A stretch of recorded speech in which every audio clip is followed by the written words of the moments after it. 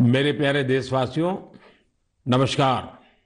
आज देश के कई हिस्सों में सूर्य उपासना का महापर्व छठ मनाया जा रहा है। छठ पर्व का हिस्सा बनने के लिए लाखों श्रद्धालु अपने गाँव, अपने घर, अपने परिवार के बीच पहुँचे हैं। मेरी प्रार्थना है कि छठ मैया सबकी समृद्धि, सबके कल्याण का आशीर्वाद दे। साथियों, सूर्य उपासना की परंपरा इस बात का प्रमाण है कि हमारी संस्कृति, हमारी आस्था का प्रकृति से कितना गहरा जुड़ाव है। इस पूजा के ज़रिए हमारे जीवन में सूर्य के प्रकाश का महत्व समझाया गया है। साथ ही ये संदेश भी दिया गया है कि उतार चढ़ाव जीवन का अभिन्न हिस्सा है। इसलिए हमें हर परिस्थिति में एक समान भाव रखना चाहिए। छठ मैया की पूजा में भांति भांति के फलों और ठेकुआ का प्रसाद चढ़ाया जाता है। इसका व्रत भी किसी कठिन साधना से कम नहीं होता। छठ पूजा की एक और खास बात होती है कि इसमें पूजा के लिए जिन वस्तुओं का इस्तेमाल होता है, उसे समाज के विभिन्न लोग मिलकर तैयार करते हैं।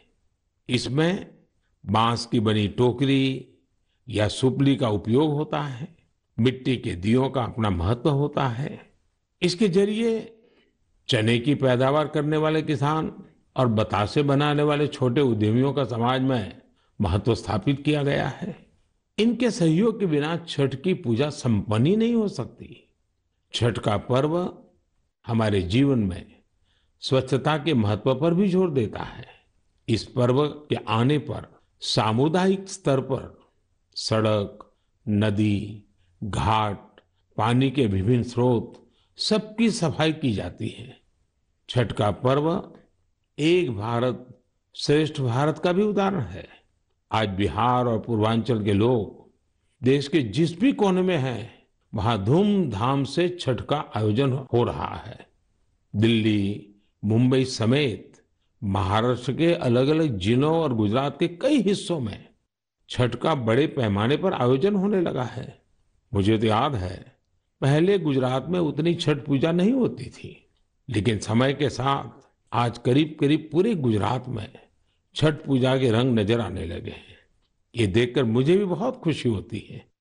आजकल हम देखते हैं, विदेशों से भी छठ पूजा की कितनी भव्य तस्वीरें आती हैं। यानी भारत की समृद्ध विरासत, हमारी आस्था, दुनिया के कोने कोने में अपनी पहचान बढ़ा रही है। इस महापर्व में शामिल होने वाले हर आस्थावान को मेरी तरफ़ से बहुत बहुत शुभकामनाएँ।